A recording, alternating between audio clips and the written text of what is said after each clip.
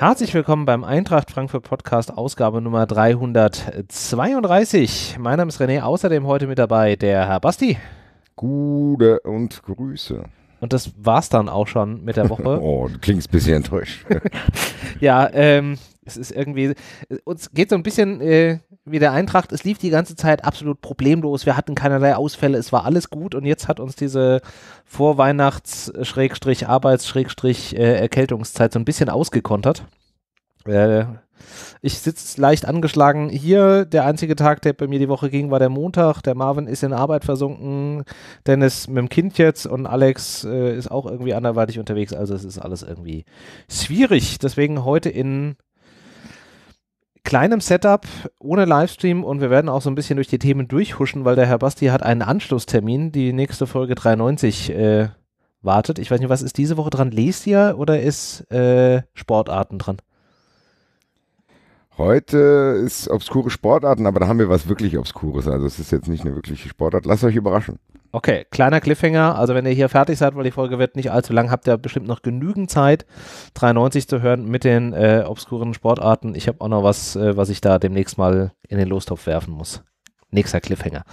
Ähm, dann lasst uns auch erstmal hier über Hertha am Wochenende reden. Ja, es ist äh, schwieriges äh, Thema, aber ich glaube, wir kommen nicht so ganz drum rum. Ähm, nach der ersten Niederlage letzte Woche war das ja so die nächste Bewährungsprobe.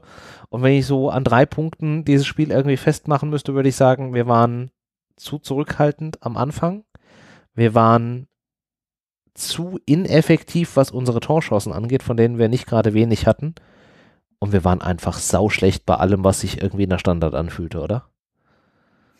Ja, das ist das größte Ärgernis, was ich an dem Tag auch hatte. Diese, dass du gar nicht mehr, ab dem fünften, sechsten Eckball habe ich schon gar nicht mehr hingeguckt.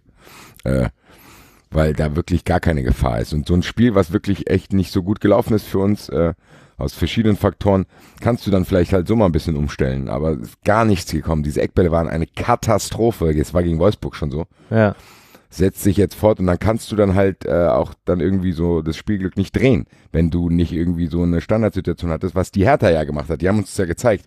Hertha war ja nicht besser als wir. Machen uns nee, um vor. Gottes Willen. Also die, die, das, war ein, das war ein schlechtes Fußballspiel. Das, die ersten 45 Minuten absolut. Das wäre auch ein ganz solides 0 zu 0 gewesen.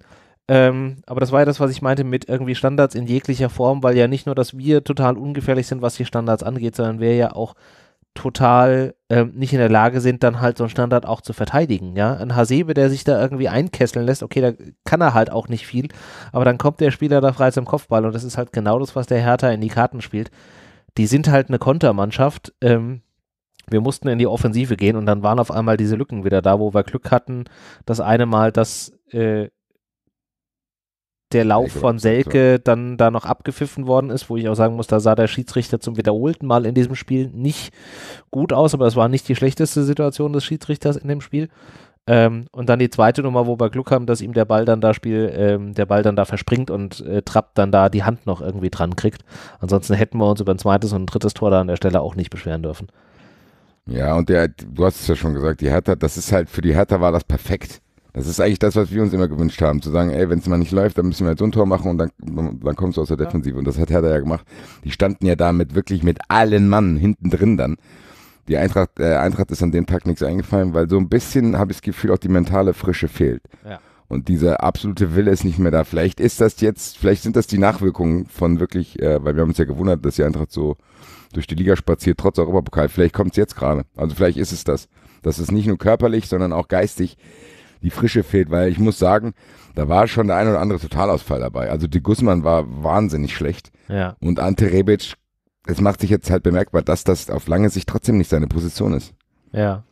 Also, ja, aber wie du, schon, wie du schon sagst, so ein bisschen auch so diese mentale Frische. Ich meine, wir hatten ja jetzt nicht wenig Torschüsse. Also laut äh. Kicker-Statistiken ja. haben wir 18 Mal aufs Tor geschossen und ganz ehrlich, ich kann mich an keinen außer, nee, stimmt, ich kann mich an einen erinnern, der gefährlich war. Das war die Nummer von Haller irgendwie in der 9., 10., 11. Minute, wo er den Außenpfosten trifft. Aber alles andere danach, das waren so Kullerbälle, die halt auch einfach zu zentral gingen. Da war keiner dabei, der mal richtig einfach dieses Ding in diesem, in diesem Tor sehen wollte und da halt einfach mal mit viel Kraft irgendwie draufgewämst hätte. Ja, also das war halt alles so, und zum Teil dann halt auch so ein bisschen, so ein bisschen überrascht. Ja, so nach dem Motto, oh, ich habe jetzt nicht erwartet, dass der Ball da jetzt irgendwie hinkommt, weil du vielleicht gerade an der Stelle geistig nicht so richtig in dem Spielzug drin warst. Ja, da ist so Kostic für mich auch ein bisschen sinnbildlich. Er hatte auch immer, der hatte auch einen Abschluss, aber was bei ihm noch viel frappierender war, war tatsächlich, dass die Flanken echt krass ungefährlich waren. Also der ist immer umtriebig, der hat auch echt scheinbar noch äh, Akku, aber irgendwie diese Flanken, das war alles ungefährlich. Also die Eintracht hat an dem Tag das irgendwie nicht hingekriegt und hat auch viele, viele falsche Entscheidungen getroffen, wenn irgendwie so, ja, wenn, wenn, wenn aussichtsreiche Situationen da waren. Dann ja. letzte Pass, dann verzögert, Rebic hat einmal verzögert, dann musst du schneller auf Außen spielen. Also das war sehr, sehr, sehr ärgerlich. Und dass es 1-0 dann so fällt, das hat dann wirklich dazu gepasst. Aber da kommen wir dann, komme ich zumindest zu einem Punkt, der mich auch krass gestört hat, und das war tatsächlich der Schiedsrichter. Der wirklich für uns auch, ja, ähnlich wie gegen Wolfsburg einer war, der jeden kleinen Piss abgepfiffen hat. Und dann ausgerechnet vor diesem Eckball, äh, pfeift er eben nicht jeden kleinen Piss. Klar, das ist keine, das ist kein hundertprozentiges Foul gewesen.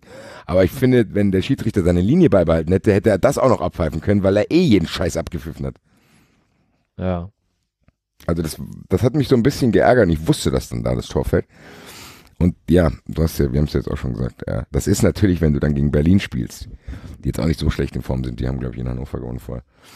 Mhm, das, dann wird es halt schwierig und die, das reicht gerade scheinbar nicht. Es war aber auch gerade für Berlin war das Ding gegen Hannover auch seit langem mal wieder ein Sieg. Davor hatten sie auch eine lange Zeit, wo sie, ähm, wenn man jetzt mal den Pokal rausnimmt äh, gegen Darmstadt, wo sie auch in den letzten fünf, sechs Dingern nichts irgendwie geholt hatten. Also die waren jetzt auch nicht so sehr in Topform, aber klar, wir haben ihnen halt eben für ihre Spielweise die Lücken gerade in der zweiten Halbzeit dann geboten und der Schiedsrichter, der da halt auch einfach ihrer ihrer Linie auch so ein bisschen zugute kam, hat das natürlich dann auch noch so ein bisschen dann da unterstützt an der Stelle einfach.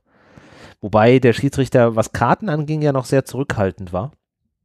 Aber er war halt schon sehr kleinig. Ich glaube, das war aber auch sein erstes, weiß ich nicht, sogar sein erstes Bundesligaspiel. Das also. weiß ich nicht, aber das wirkte so. Das habe ich auch gesagt. Also Marvin und ich haben es ja zusammengeschaut im S9. Grüße an die Bande. Da, da, du hast schon gesehen, das ist ein Schiedsrichter, ja, dem fehlt natürlich so ein bisschen die natürliche Autorität und da hat so ein bisschen probiert mit Körpersprache und völlig unbeholfen da äh, auf den Platz zu kriegen. Das hat mich genervt. Das war, das hat mich wirklich genervt, wie er sich da aufgeführt hat. Und das hat wirklich unserem Spiel auch nicht gut getan. Also in vielen Situationen, wo, der wurde hier wurde was abgepfiffen, Rebic, Haller wird sowieso scheinbar immer alles abgepfiffen, wenn er sich auch nur irgendwie einen anderen Gegenspieler nähert. Das sind keine spielentscheidenden Situationen, aber es kann trotzdem so einen Spielfluss kaputt machen. Und das ja. sowas bringt dann natürlich den Mannschaften wie Wolfsburg und Hertha spielt denen in die Karten, weil die an einem wirklichen Spiel kein Interesse haben. Ja. Gerade wenn die gerade gegen jetzt momentan gegen Eintracht spielen und die Eintracht hoch eingeschätzt wird das, da, da kommt es halt nicht rein, aber nichtsdestotrotz ist die Hauptschuld, trotzdem liegt die Hauptschuld bei der Eintracht, weil ich hatte schon erwähnt, der Guzman war ein Totalausfall. Also der hat immer die falsche Entscheidung getroffen, die Standards waren eine Katastrophe. Ja, und Rebic fühlt sich, glaube ich, da in der Zentrale nicht wohl, weil ihm da wirklich teilweise der Platz fehlt. Also auf klein, klein, schnick, schnick zu machen, ist, glaube ich, nicht so sein. Nee, stimmt schon. Ich habe gerade nochmal nachgeguckt. Äh, Schiedsrichter Daniel Schlager hatte bislang vier Einsätze in der ersten Liga ähm, Bremen gegen Nürnberg, Mainz gegen äh, schon mal Berlin, äh, Düsseldorf gegen Wolfsburg und jetzt Berlin gegen Frankfurt. Und in drei der vier Spielen hat er beim Kicker eine Note 5,0 oder schlechter bekommen. Passt also irgendwie so ein bisschen dazu. Guter Karrierestart. Ja, kann man. Da kommen wir nämlich dann auch zu einer ganz, ganz prägnanten Szene am Ende dann. 87. Also das, Minute sprichst du ja, jetzt Leute, an. Also sorry, das, ist kein, das ist ein Witz, sorry. Also das ist ein Witz, dass das kein Elfmeter gibt. Das ist ein Witz, dass das auch nach nach, nach, nachdem man es nachgeschaut hat, immer noch kein Elfmeter ist. Ich habe gedacht, die stehen im Wald. Wir haben uns alle schon zurückgelehnt, weil wir dann die Zeitlupe selber gesehen haben. Dann haben gesagt, ja gut, also wenn die das jetzt nicht äh, korrigieren, ja. dann weiß ich es auch nicht mehr. Also das ist halt auch so ein bisschen der, der, der, der Punkt, den ich da nicht verstehe. Das war so eine Diskussion, die auch im Rasenfunk äh, in der aktuellen Folge, die ich bislang nur stückweise gehört habe, aber da auch stattgefunden hat. Wir sind ja auch äh, hochkarätige Gäste mit Markus Bark und äh, der Frau Pfeiffer da ähm, vor Ort. Gerade wenn du so als Schiedsrichter deine ersten Bundesligaspiele hast und du hast die Option und du hast so eine Geschichte, wo du dir vielleicht auch, die halt auch spielentscheidend dann am Ende ist in der 87. Minute. Und du sowieso jeden Scheiß irgendwie pfeifst. Mein Gott, warum gehst du denn dann nicht raus an diesen Bildschirm und guckst es dir an? Das ist doch in dem Moment auch kein Zeichen von Schwäche, sondern einfach nur, es geht ja darum, das in dem Moment auch richtig zu machen, weil jetzt stehst du erst recht in der Kritik als Schiedsrichter, wenn es dein viertes Bundesligaspiel war und du so eine Situation dann nicht irgendwie richtig erkannt hast. Ob das jetzt eine klare Fehlentscheidung war, das Ding nicht zu geben oder wie, kann ich jetzt schlecht beurteilen, weil für mich auch diese Definition klare Fehlentscheidung irgendwie, da gibt es ja kein Schwarz oder Weiß. Also von daher fände ich da jetzt auch schwierig zu sagen, ist es jetzt klar falsch, ja oder nein. Aber warum geht er da nicht raus und guckt sich das nicht an? Ich habe es nicht verstanden. Ja, eben. Also gut. Wir haben nach dem Spiel auch gesagt, dass äh, lieber die entscheidende Szene im Pokalfinale äh, da, also weißt du, dass der Videoschiedsrichter ja. da für uns äh, sich entschieden hat, aber das hat ja trotzdem eigentlich nichts miteinander zu tun, das war ein Scherz. Also die Sache, ich kann es nicht verstehen. Ich verstehe es immer noch nicht, dass das kein, äh, also ich finde es Wahnsinn. Ja, ich auch nach wie vor. Ich habe mir die Zusammenfassung bestimmt jetzt noch fünf, sechs Mal angeguckt und ich komme jedes Mal, gut, ich meine, jetzt sind wir natürlich auch so ein bisschen ähm, mit der Eintrachtbrille da unterwegs, aber ganz ehrlich. Ja, sorry, aber das ist ein Elfmeterpunkt. Ja. Aber Jovic hat doch gar keinen Grund, sich da fallen zu lassen. Weißt du, was ich meine? Nee, natürlich nicht. Ich meine, er, also, ist, am, er ist am Ball. Er, ja, er ist, ist auf also dem Weg Tor zum Tor. Er versucht zu schießen und in dem Moment wird er halt quasi umgerissen, weil er muss ja quasi den Fuß zum Schießen hochnehmen. Ja, und dann hast du den Gegenspieler, der halt quasi oben, unten an ihm hängt und zieht und zerrt. Klar ist das ein Körpersport und ich will jetzt nicht irgendwie, dass da jedes kleinste Ziepen irgendwie abgepfiffen wird. Aber ganz ehrlich, in so einer Situation. Ja, aber nein, aber wir haben, wir haben, wir haben doch bei Colinas Erben gelernt, wenn ein Schiedsrichter eine Linie fährt, dann muss er die wenigstens beibehalten. Das hat er gar nicht gemacht. Das ist es ja. Wenn du jetzt einen kleinlichen Schiedsrichter der alles kleinlich pfeift, dann ist es halt so. Aber der kann doch nicht dann alles abpfeifen. Jeden Scheiß hat er abgepfiffen. Ja. Seiner tollen Frisur. Und dann das nicht. Das kann ja nicht wahr sein. Und dann fragt er nach und die sagen, dann, ich verstehe wirklich nicht, dass die nicht zu ihm gesagt haben, ey, dann schaust dir halt kurz an. Also wie du es gesagt hast, das geht. Das, das, wir wir wissen es wir wissen's ja nicht. Also das ist ja dann wieder auch so dieses andere Thema ähm, Transparenz. Wir wissen ja nicht, was Bibiana Steinhaus, die in dem Fall der Video Assistant Referee war, gesagt hat. Ähm, es kann ja durchaus sein, dass sie gesagt hat, von wegen, geh halt raus und guck's dir nochmal an. Aber die letztendliche Entscheidungsgewalt liegt ja bei dem Schiedsrichter auf dem Platz. Wenn er dann sagt, von wegen, nee, ich bin mir sicher, mach ich nicht dann ist das seine Entscheidung. Also wir, aber wir wissen es nicht. Es ist ja jetzt eine Vermutung, die ja. wir an der Stelle jetzt bemühen müssen. Ja. Ja, ich weiß, ich war fassungslos und das hat meine Wut echt ins Unermessliche getrieben. Ich war auch ein bisschen sauer auf die Eintracht, so dass du hast das Gefühl gehabt, wir haben uns wieder, wieder, wieder einlullen lassen, haben gedacht, ja. oh geil, vielleicht geht ja doch was. Und die Eintracht ist trotzdem immer noch die Eintracht. Die Eintracht ist trotzdem wahrscheinlich wirklich ein Verein wie Hertha, die gerade gut in Form ist. Also wir sind, glaube ich, nicht so stark, wie wir das denken. Also das ist so, so fühle ich es gerade. Natürlich kann es sein, dass wir uns einfach ein bisschen das Glück verlassen haben dass jetzt alles wieder gut wird. Aber ich habe ein bisschen Angst vor den letzten drei Spielen jetzt, dass dieser positive Eindruck, die, wir sind ja hier durchgerauscht die letzten Wochen, Monate, dass das unterm Weihnachtsbaum anders aussieht. Das, die, die Angst trage ich aktuell sehr, sehr stark in mir, natürlich auch durch die Vorbelastung, die wir haben. Also weißt du was ich, wir, wir haben ja immer gesagt, wir trauen dem Braten nicht. Wir haben dem, trauen, dem Braten vor Augsburg nicht getraut, vor zu Hause gegen Schalke. Wir haben immer nicht getraut und irgendwie hat es immer geklappt. Und jetzt ist halt das eingetreten, was wir eh schon befürchtet haben, aber irgendwie fühlt sich falsch an. Also ich habe ja eigentlich gesagt, wir verlieren jetzt irgendwann, wir können nicht immer alles gewinnen, gerade wenn wir europäisch spielen. Aber so wie es jetzt passiert ist, fühlt sich das falsch an, weil das trotzdem auch trottelig war. Hm. Also das war trottelig, ja. weil das musst du nicht. Das waren keine zwei Mannschaften, wo du sagst, ach, heute ist einer der Tage, da geht nichts, der Gegner war besser. Nein. Nee, das waren nicht. zwei Kackmannschaften, machen uns nichts vor, die auch ja. Kacke gespielt haben. Und die Eintracht hat es trotzdem, hat sich durch simple Mittel die Eintracht einfach anzugehen und irgendwie nicht äh, losrennen zu lassen. Das waren ja beide, die einfach auf Zerstörung aus waren. Ja, das hat scheinbar gereicht. Klar kamen ein paar strittige Szenen noch dazu, aber darauf kannst du dich trotzdem nicht ausruhen. Und, nee, ja. das ist es nicht. Ja, dann, wie ich schon sagte, wir haben 18 Mal das Ding irgendwie da aufs Tor gebracht und davon war ein Schuss ungefährlicher als der andere. Ähm, also wir müssen uns da den Schuh auch zum gewissen Grad selbst anziehen. Klar, hat uns jetzt irgendwie da auch der Schiri nicht so richtig irgendwie in den Graben gepasst, aber wir hätten ja die Chancen gehabt. Es ist ja nicht so, dass wir keine Torchancen rausgespielt haben. Und da waren wir halt einfach, wie du schon sagst, da haben wir uns einlullen lassen und sind mit so einem Kuschelkurs da unterwegs gewesen. Äh, die Eintracht von vor fünf Spieltagen, die hätte da irgendwie drei Dinger gemacht und dann wäre das Thema auch wieder gut gewesen. Das ist halt der Unterschied. Ich glaube, wir hatten das, äh, wir hatten ja heute Fußball 2000 mit Bosca, liebe Grüße. Der hat das auch gesagt. Er hat gesagt, die, eigentlich so ein Spiel hätte uns auch in Augsburg schon passieren können. Da war die Eintracht auch na, nachlässig. Da hat Augsburg halt das Tor nicht gemacht. Ähm, da hatten wir halt Glück, dass der Gegner halt eben noch einen Ticken schlechter war und jetzt in dem Fall ähm, haben sie halt einfach aus einer, aus einer Standardsituation ein glückliches Tor bekommen. Und danach halt quasi, den, wie du schon sagst, den Spielbetrieb eingestellt, hinten drin gestanden. Ich weiß gar nicht, ich glaube, wir hatten in der zweiten Halbzeit irgendwie 70 Prozent Ballbesitz oder sogar noch mehr. Also, ähm, ja, da zeigt sich halt auch mal wieder, wir sind halt keine, keine Mannschaft, der an der Stelle dann halt viel einfällt.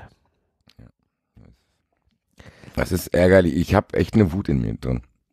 Ich weiß nicht, also das, ja, keine Ahnung. Ja, ich auch. Also ich ähm, Weil noch es halt so unnötig ist. Das ist so eine Mischwut. Mischwut aus bisschen trottelig und bisschen, eigentlich weiß ich aber auch, dass es klar, dass es passieren kann.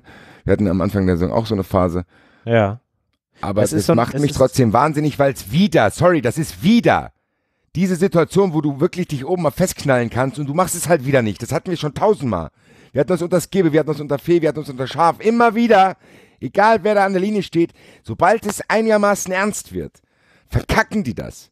Klar nicht, im Pokal nicht und das war, ja, wie wie gesagt, im Sommer war, war, das war das schönste Erlebnis aller Zeiten. Nichtsdestotrotz, wenn wir über Liga-Alltag reden, auch unter Kovac war es ja so. Gute Hinrunde, zack, Rückrunde verkackt. Ja. Jetzt schon wieder, du kannst wirklich da rein. Die anderen Ergebnisse waren ja auch von Leipzig verliert in Freiburg. Nein, dann nutzt du es halt nicht aus, verlierst auch. Das ärgert mich halt massiv. Da ist es mir jetzt gerade auch egal, woran das liegt. Das macht mich wahnsinnig, dass wir wieder diese Chance nicht nutzen, um da einfach, ja, vorne sich mal ein bisschen festzubeißen. Und die Spiele, die jetzt kommen, sind wirklich nicht dankbar dafür, irgendwie wieder Aufbaugegner zu haben, weil du hast Leverkusen, dann spielst du in Mainz, da sehen wir nie gut aus. Ja. Zu Hause gegen München, das ist halt echt kacke. Ja. Ja, bei mir ist es auch so eine Mischung aus Wut und ähm, Enttäuschtheit, dass man sich irgendwie mehr Hoffnungen gemacht hat, als man sie vielleicht haben sollte. Wobei wir auch sagen müssen, der Fairheit halber, wenn man jetzt auf die Tabelle guckt, wir sind immer noch der Tabellenfünfte. Es hat sich für uns nichts getan.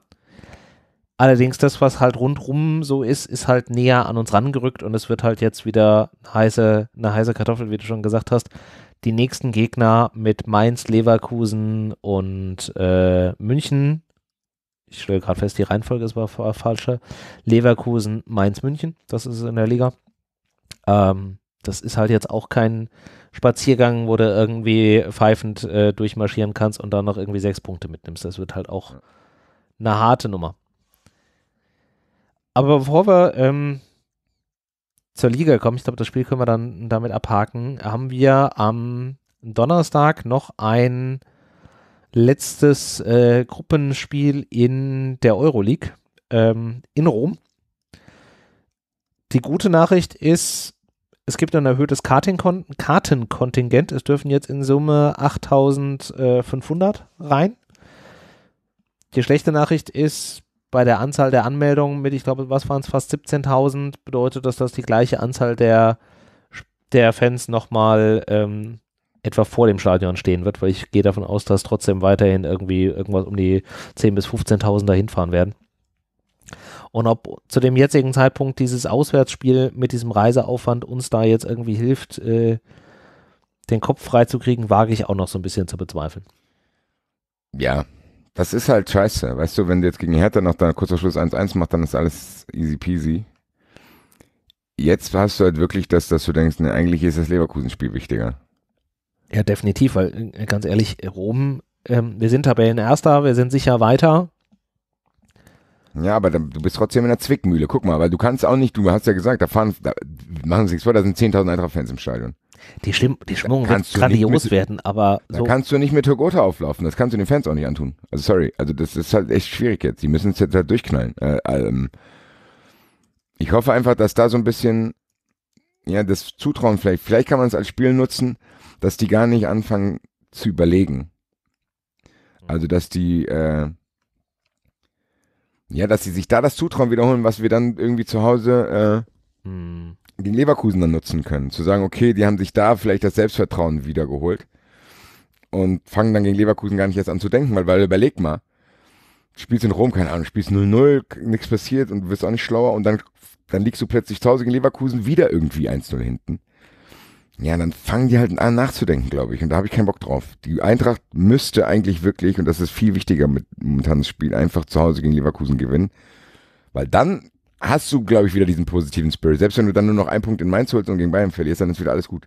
Aber diese vier Punkte sollten es tatsächlich schon sein, weil du dir sonst wirklich diese Ausgangsposition selber kaputt schießt und dieses Rom-Spiel, ich habe ganz komische Gefühle. A, ist es so geil, du bist schon weiter, du bist Erster, wir werden das auch krass feiern. Ich werde auch am Donnerstag meine Wut, die werde ich komplett ignorieren. Ich glaube, die Mannschaft sieht das auch als Bonusspiel, das heißt, das läuft ein bisschen gesondert. Äh, Ja. Wir müssen halt hoffen, dass sich keiner verletzt. Das ist, glaube ich, so das Wichtigste. Ja, wobei auf der anderen Seite ist halt auch die Frage, ähm, wie viel Ernst wird halt Lazio diesem Spiel halt auch widmen, weil für die geht es ja auch quasi um nichts. Ist ja jetzt auch quasi für die das Spiel um die goldene Ananas an der Stelle. Ähm, ich meine, klar, die Gefahr, dass da halt irgendwie Verletzungen irgendwie bei rumkommen, die hast du halt immer. Das kannst du halt dann nicht ähm, vermeiden, aber ja. Also ich bin da halt auch so ein bisschen im, im Zwiespalt. Auf der einen Seite ist europäische Bühne halt immer noch mal was anderes und noch mal irgendwie einen Ticken geiler und wie du schon sagst, da werden ein Haufen Fenster sein, es wird eine grandiose Stimmung sein.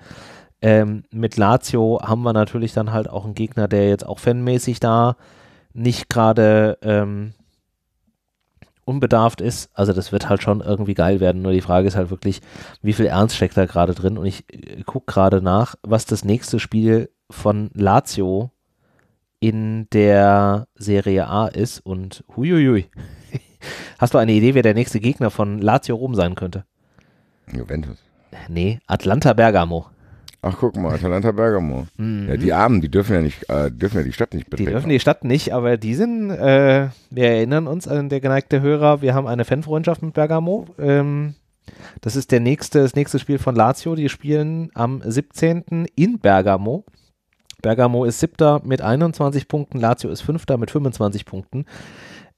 Ich könnte mir auch vorstellen, dass denen das Ligaspiel da halt an der Stelle auch irgendwie näher ist als das Euroleague-Spiel, wo es für die halt wirklich um nichts geht. Ja, vielleicht ist das unser Vorteil, dass wir da vielleicht sogar mit halber Kraft, äh, Ja, und halt wieder mal so ein bisschen, vielleicht so den einen oder anderen Spielzug ausprobieren können, so ein bisschen Sicherheit gewinnen in den Abschlüssen, halt wirklich äh, Podolski Das ist es, glaube ich. Ich nicht glaube, denken, schießen. die müssen vielleicht wirklich einfach, das, die sollen gar nicht so wütend sein wie wir, sondern einfach denken, dass sie jetzt Pech hatten.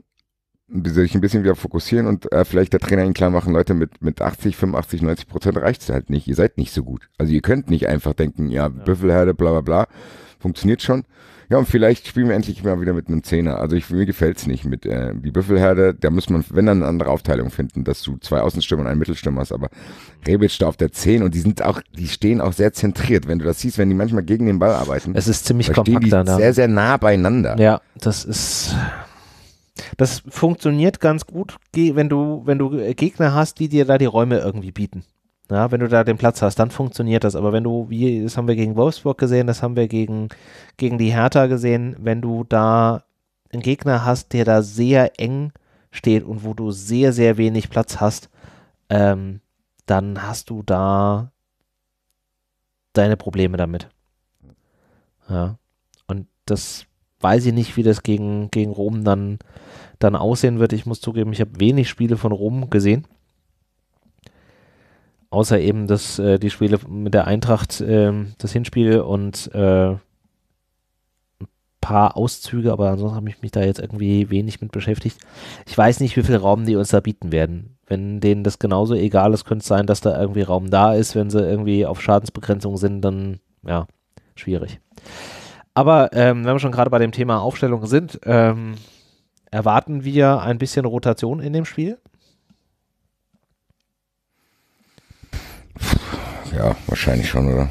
Also sonst zwei, drei Positionen wieder so eine, so eine Halbrotation. Also nicht komplett, aber schon Ja. ein bisschen gehe ich davon aus. Ich glaube wirklich, dass der, der Trainer genau nachschauen wird, wer im Training vielleicht wirklich mal eine Denkpause braucht, dass er gegen Leverkusen voll wieder da ist. Und da fällt mir als erstes trotzdem Rebic ein. Also ich glaube, dass er selber gesagt hat, er ist noch nicht fit, merkt man vielleicht jetzt auch Ja. im Kopf nur nicht. Das ist der erste Kandidat, dass Gacinovic für Rebic reinkommt. Aber vorne würdest du wieder mit Halea Jovic. Ja, also das schuldet man auch diesen Fans, die da hinfahren. Sorry. Ja, gut, wie du schon sagst, du kannst da schlecht mit einer B11 ähm, auflaufen. Das wirst du an der Stelle irgendwie nicht bringen. Ich könnte mir vorstellen, dass ein Willems auf links für ein Kostic ran darf. Ich kann mir vorstellen, dass Williams für de Guzman ran darf. Ah, wieder, äh, stimmt, dass er wieder in der Mitte spielt. Ja. Ich weiß gar nicht, am Anfang war ich nicht so begeistert von diesem Experiment, aber ich muss sagen, es hat erstaunlich gut im Spiel also der, der, der, der Typ kann ja schon kicken und ich glaube, wenn man dem wirklich irgendwie so ein bisschen so ein Manual an die Hand gibt, was er machen soll, dass Ja. das schon, also ich glaube, wenn er sich da irgendwie vielleicht im Winter sogar auf der Position trainiert, dass das eigentlich eine ganz geile Idee ist, weil das erinnert mich so ein bisschen, äh, das hatte mich da schon erinnert, als wir gegen die gespielt haben, äh, Luis Gustavo äh, von, von Ja. Marseille, beziehungsweise Hoffenheim damals. ja. Hoffenheim hat das auch mit dem gemacht. Also Ja, Hoffenheim stimmt. hat exakt das gleiche gemacht. Der war Linksverteidiger und Rangnick hat probiert, ey, setzt ihn auf die Sechs und wir wissen alle, Gustavo ist halt schon ein guter Kicker geworden. Ja, Vielleicht können wir das mit Willems auch machen. Also das, weil kicken kann er ja und der hat auch einigermaßen gute Ideen. ja. Müsst, muss halt defen, das müssen wir uns auch, da dürfen wir uns vormachen, der muss halt auch ein bisschen cleverer werden in den Defensivzweikämpfen. Also da brauchen wir ja, uns so ein bisschen Temperament Sonst fliegt, der, sonst fliegt der jedes Spiel vom Platz. Ich möchte an der Stelle anmerken, dass das gerade von dir ein indirektes Lob für Herrn Rangnick äh, war. Das möchte ich nur einmal kurz. Was soll ich jetzt machen? Halt. Am besten machst du da jetzt gar nichts, ignorierst es und machst einfach weiter. Also, ähm, Willems für De Guzman, aber Fernandes wird daneben schon spielen, oder? Ja, ja, aus mangels an Alternativen. Ich sagen, wir also, so wir haben halt nicht viel. Da Costa auf rechts, weil da haben wir halt auch exakt nix. Und dann wäre jetzt noch die Frage, ähm, ein Kostic auf links oder ein Tawata?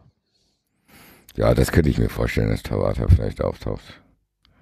Weil, ja, also das ist sowas, was Der hat ich- auch so ein bisschen, so ein bisschen Belohnung verdient. Ja. Salcedo würde ich drin lassen, ehrlich gesagt. Der muss Salcedo jetzt braucht Spielpraxis haben. Spielpraxis? Der muss, braucht Spielpraxis, den würde ich komplett stellen. Indika soll weiterspielen. Ja, viel, ja, ich weiß nicht. Das Hasebe nicht würde ich eigentlich auch nicht rausnehmen Ja, wollen. eben. Ja, das kann also, eigentlich ja. Also das kannst du, vielleicht macht Hütter das tatsächlich, dass er Russ reintut für Hasebe, aber das wäre schon, das würde, das würde unserem Spiel nicht gut tun. Das haben wir ja gesehen. Mit, ohne Hasebe läuft ja momentan eigentlich gar nichts. Nee, Das hat- bra- das den hat halt du- die Härte auch gut du da gemacht. hinten drin halt schon. Die Hertha hat es halt auch gut gemacht, weil die haben Hasebe so ein bisschen aus dem Spiel genommen. Also der Selke ist den angelaufen und dann war's das. Und äh, ja. Ja. das merkst du dann halt, würde ich ungern ausprobieren. Aber es ist halt, aber eigentlich ist er der Kandidat, wo ich komplett Riesenangst hätte, dass er sich verletzt in so einem unbedeutenden Spiel. ja, das, ist, heißt, das ist so ein bisschen. wie man es macht jetzt, ist es eh falsch. Weißt du, was ich meine? Wenn du es draußen, wenn du ihn draußen lässt und verlierst irgendwie, die Stimmung wird noch schlechter, dann hast du es falsch gemacht. Wenn du ihn drin lässt und er verletzt sich, hast du es auch falsch gemacht. Also ich Ja. das, würde das nicht entscheiden wollen.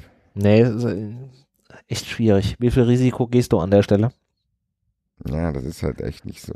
Ja, weil das wirklich so der Spieler ist, wo du eigentlich gar keinen Bock hast, den irgendwie zu verlieren. Ähnlich wie Da Costa, den du eigentlich auch nicht irgendwie unnötig einem Risiko aussetzen willst. Mit dem Unterschied, dass du halt da eigentlich keinen außer Salcedo hättest, der da halt irgendwie auf rechts spielen könnte. Aber dafür käme es aus meiner Sicht halt auch noch ein bisschen zu früh.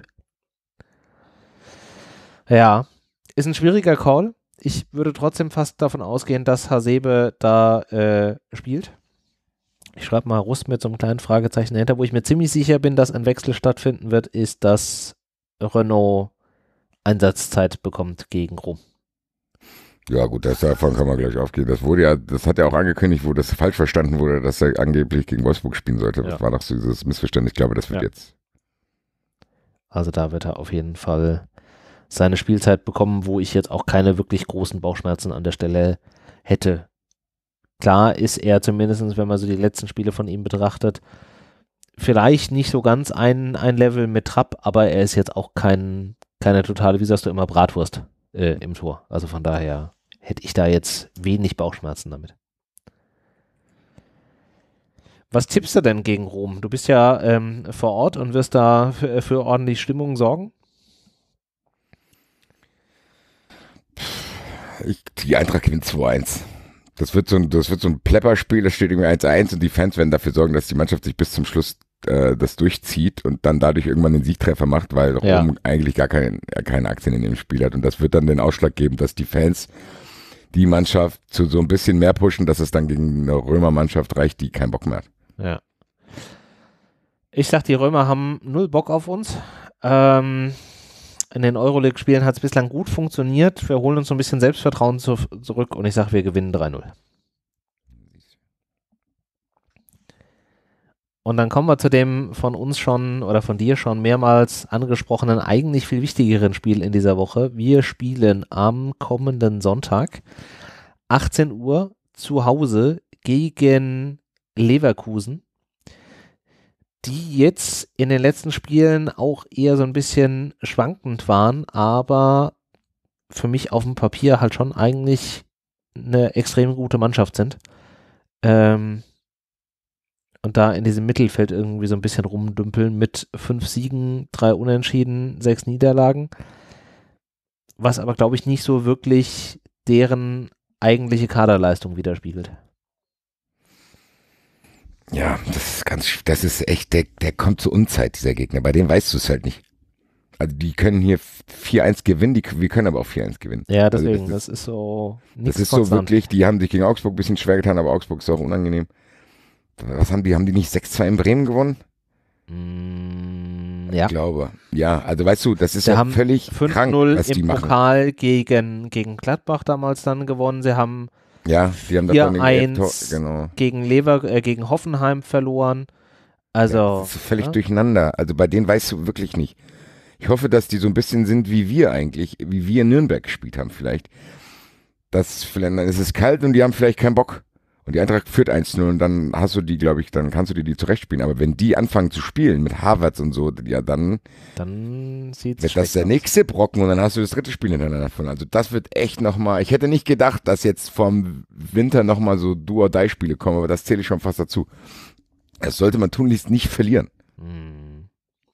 Ja, wird aber halt echt nicht äh, keine einfache Nummer, wie du schon sagst. Da sind durchaus ein paar dabei, die ähm, kicken können, die haben auch schnelle Außen mit einem Bellarabi und mit einem Bailey, die uns da so ein bisschen irgendwie äh, Stress machen könnten. Das dürfte gerade für unsere Außen, Kostic und Da Costa, dürfte das ein sehr anstrengendes Spiel werden. Leverkusen kann halt leider auch so ein bisschen mit Standards umgehen. Also das Ding gegen Augsburg war ja, glaube ich, auch nach einem Standard. Ja, es ist das trifft Boah, halt wieder so Ich habe keinen Bock jetzt schon daran zu denken. Das Spiel nervt mich jetzt schon. Es geht mir ähnlich. Es geht mir absolut ähnlich. Es liegt aber vielleicht auch einfach gerade an der, an der Situation, dass wir von dieser Euphoriewelle, auf der wir uns die letzten Wochen befunden haben, jetzt in den letzten zwei Wochen ziemlich hart runtergekickt worden sind. Ja. Ja, gesagt, an das Spiel will ich noch gar nicht. Das ist für mich auch noch zu weit weg, weil du, die spielen ja also auch noch europäisch, also wir können es jetzt auch noch gar nicht seriös bewerten. Spielen die nicht auch gegen die zyprische Mannschaft jetzt? Ähm, müssten, ich gucke gerade einmal nach, die spielen gegen Lanaka, genau.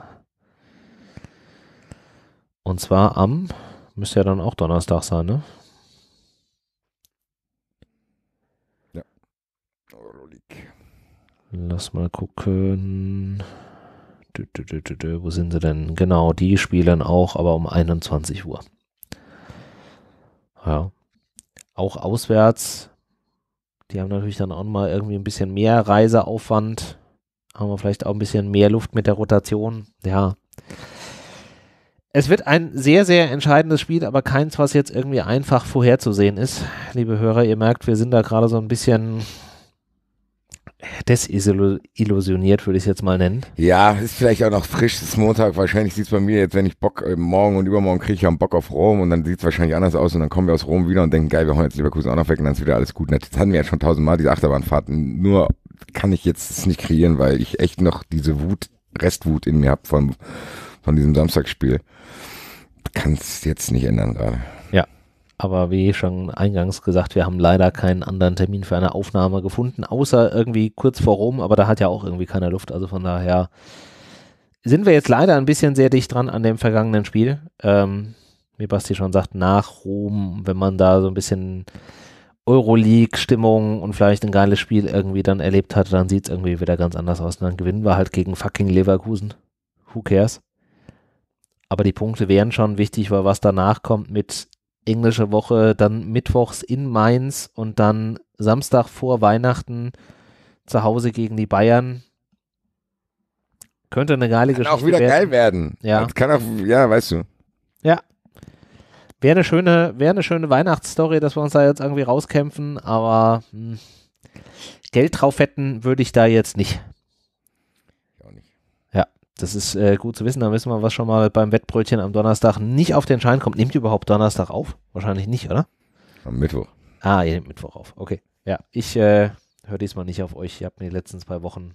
Seitdem es das Wettbrötchen gibt, habe ich noch keinen einzigen Schein mehr äh, gewonnen. Ich äh, sehe da eine gewisse Absicht. Ja, ich glaube auch. Das, das war ein, ein Versuch, meinen tadellosen Wettruf zu beschädigen.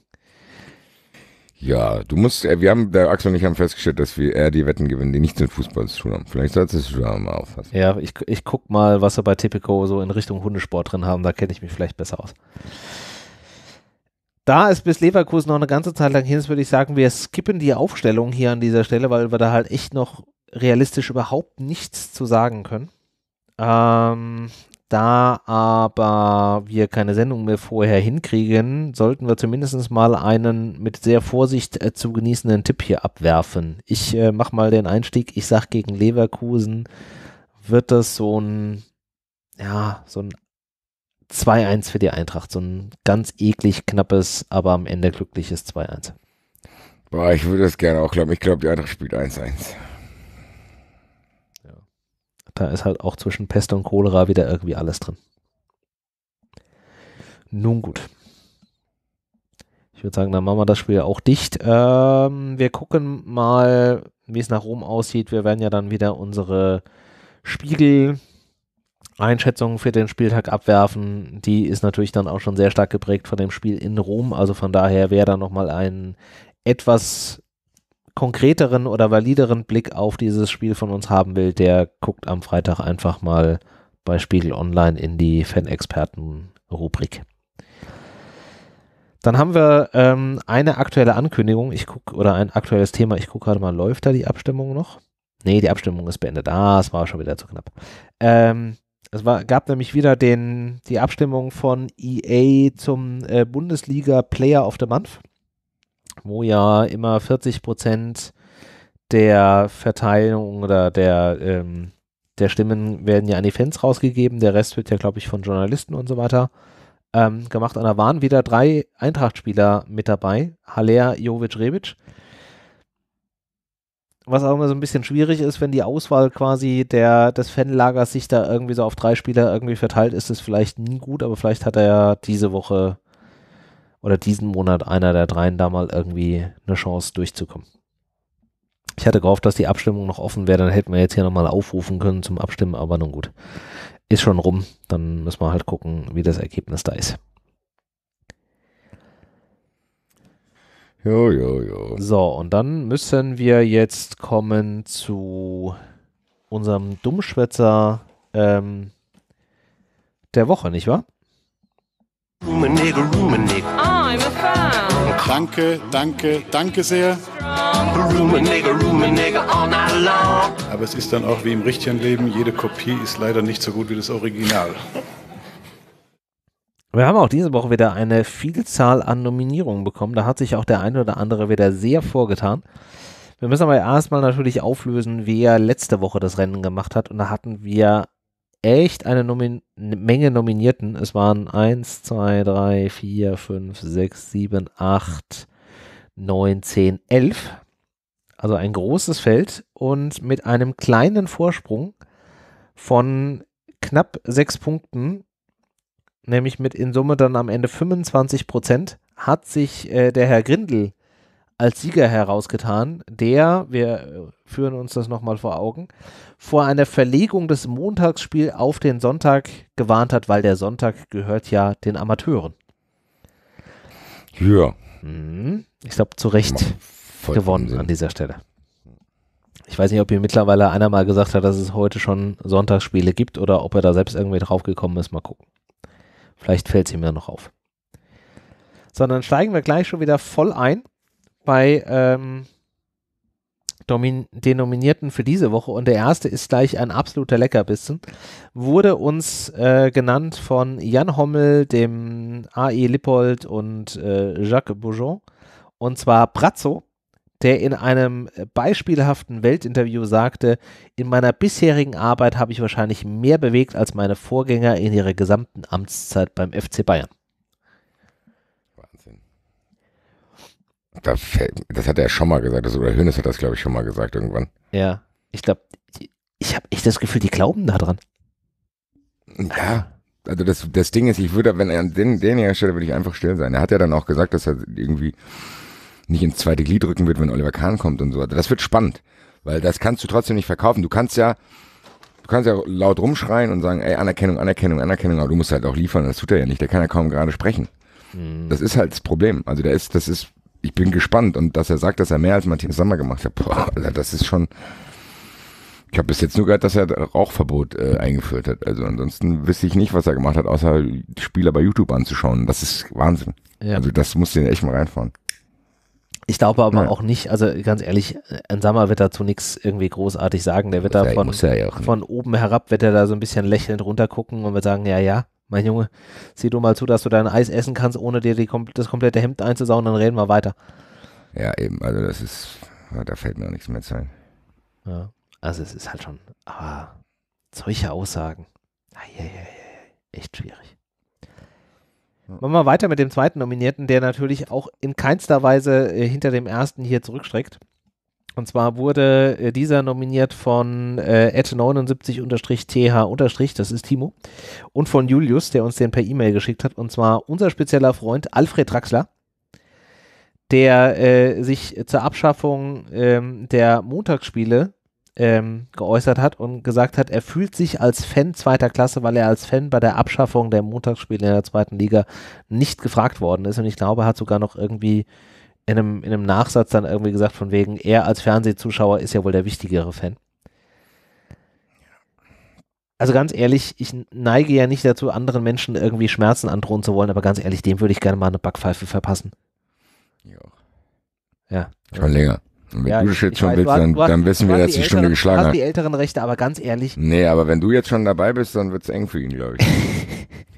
Also ganz ehrlich, das mit dieser Begründung da zu bringen, von wegen, als Fernsehzuschauer ist man ja wohl der wichtigere Fan, dann hat man vielleicht auch so ein bisschen, also wenn das unsere, die komplette Wahrnehmung von Fußball und dem Ganzen ist, dann kann ich sehr gut verstehen, warum viele Menschen Ja, es ist halt aber auch sagen, bewusst sie, provokant. Ich will da drauf gar nicht eingehen. Der soll einfach die Fresse halten. ja, aber mich, also mich nervt sowas kolossal. Kann ich verstehen. Es macht es halt wirklich kaputt. Ai, ai, ai. Dann machen wir weiter. ne- Ähm, Hörernominierung nochmal geschickt von Jan Hommel, der war diesmal sehr fleißig, der hatte drei unterschiedliche Menschen oder drei unterschiedliche Vorschläge eingereicht. Und diesmal nominiert er nicht Brazzo, nicht Uli, nicht Rummenigge, sondern den kompletten FC Bayern, die ähm, beim Heimspiel gegen Nürnberg ähm, den äh, Clubfans oder der organisierten Clubfanszene untersagt hat, ähm, 5000 Diese Wollmützen, die sie extra für das Spiel angefertigt hatten, gegen eine Spende quasi zu verteilen. Das ist so das gleiche, was wir ja in äh, gegen Apollon gemacht haben mit den, mit den Shirts, wollten die eben mit quasi farblich abgesetzten oder angepassten Wollmützen machen. Und man hat dann kurzfristig untersagt, dass das ähm, verteilt werden oder ausgehändigt werden darf. Man muss dazu sagen, der FC Bayern hat natürlich in dem Moment vor der Allianz Arena das Hausrecht. Das können sie natürlich tun. Eine wirklich stichhaltige Begründung habe ich jetzt nicht gefunden. Ich finde es ein bisschen merkwürdig, ganz ehrlich. Was spricht gegen Mützen? Ich weiß, ich habe es auch nicht verstanden, aber passt auch zum FC Bayern und dem Bild, was er abgibt. Ja. Dann sollen die es halt woanders verkaufen. Die bei Bayern können das ja nicht verbieten. Nee, klar, du hättest es dann halt auch irgendwie draußen irgendwie dann vor dem Gelände irgendwie machen können. Die Idee war ja, so wie ich das verstanden habe, dass sie das vor dem Block machen wollten und das war ja auch erst irgendwie okay und ist dann doch irgendwie untersagt worden, genauso wie sie auch irgendwie ja Probleme hatten, irgendwie Fanutensilien, die erst genehmigt waren und dann doch wieder nicht genehmigt. Also es scheint alles gerade ein bisschen schwierig zu sein. Ja. Anstrengender Verein gerade. So, dann haben wir die dritte und letzte Nominierung, die uns geschickt worden ist von äh, Jan Hommel. Und zwar, wir bleiben bei dem Thema der Montagsspiele. Und zwar wird hier nominiert der Sport 1-Chef Olaf Schröder, der die Abschaffung der Montagsspiele in der zweiten Liga falsch und überstürzt findet. Ja, klar, dass er das findet, weil Sport 1 ist ja derjenige, der es halt auch zeigt. Und dann- haben wir noch den letzten und den fand ich besonders ähm, toll. Und zwar wurde uns der geschickt von Tremo MS. Und zwar nominiert er oder sie, ich weiß es jetzt gerade nicht genau, Maurizio Macri. Das ist der äh, Verbandschef des äh, südamerikanischen Fußballs. Und der Ach ja, findet der es war geil. Der gesagt hat, es ist viel schlimmer, dass der angespuckt wurde, als dass Genau. da irgendwelche Leute angegriffen wurden. Er sagte äh, wortwörtlich, er finde es viel schlimmer, dass Infantino angespuckt wird, als wenn Steine ähm, von Gewalttätigen auf einen Bus geworfen werden. Also ganz ehrlich, anspucken ist halt auch Kacke, muss man nicht machen. Aber ich habe noch nie erlebt, dass einer, weil er angespuckt worden ist, sich verletzt. Wenn aber so Steine in so einen Bus geworfen werden, dann ist das eine ganz andere Nummer. Das kann man nicht vergleichen. Und jeden Versuch, das zu tun, zeigt halt auch nur, was für eine unendliche Dummheit da am Werk ist. Eieiei. Schwierig alles momentan. Irgendwie bin ich auch nicht, ich habe nicht mal die Energie, mich darüber aufzuregen gerade. Ich bin noch im Wochenendblues. Man, man merkt es, dass du so ein bisschen energielos bist. Bin genau wie die Mannschaft auch. Warum sollte ich das bei mir anders sein? Das Zerrt an einem. Es zerrt an einem hervorragend, ja. Ähm, hast du noch einen Nominierten oder eine Nominierte? Ich habe nichts. Du hast nichts. Ja, dann ähm, würde ich sagen, sind wir quasi an der Stelle auch schon durch, weil ich habe auch nichts. Das heißt, ihr, liebe Hörerinnen und Hörer da draußen, habt wieder die Möglichkeit abzustimmen. Geht einfach auf eintracht-podcast.de, dort auf die aktuelle Sendung. Da findet ihr die Abstimmung und dann werden wir in der nächsten Woche mitteilen, wer denn das Rennen gemacht hat. Und wir freuen uns wieder sehr, wenn ihr uns wieder neue Vorschläge einschickt. Ich könnte mir vorstellen, dass da noch das ein oder andere irgendwie äh, kommt. Im, vielleicht auch nach dem Spiel am Wochenende. Wir hatten schon lange keine Nominierung mehr von Rudi Völler. Das wird auch mal wieder Zeit. Der ist ja sonst eigentlich auch immer für einen, einen gut. Grüße. Genau, Grüße. So, jetzt ist die Frage, ähm, wie bringen wir jetzt hier ein bisschen Stimmung rein? Du hast gerade eben gesagt, ihr habt die neue Fußball 2000 aufgenommen. Ich habe gerade eben mit zum halben Auge gesehen, die ist auch mittlerweile veröffentlicht. Ähm, wer nochmal nicht genau weiß, Fußball 2000, wir präsentieren nochmal den Ohrwurm von letzter Woche. Wenn er nicht angehen will. Er will nicht angehen. Jetzt habe ich was angekündigt, was nicht funktioniert. Ach, hervorragend. Ich habe kurz Angst gehabt, dass du willst, dass ich äh, Dass du singst. singe. Ja, das, Nein, das will ich natürlich nicht, aber mein Soundboard spielt mir hier, äh, macht hier den Affen. So. Eieiei, René. Nicht nur das Spiel, sondern auch alles. Auch die, auch die Technik gerade. versagt, aber jetzt aufpassen.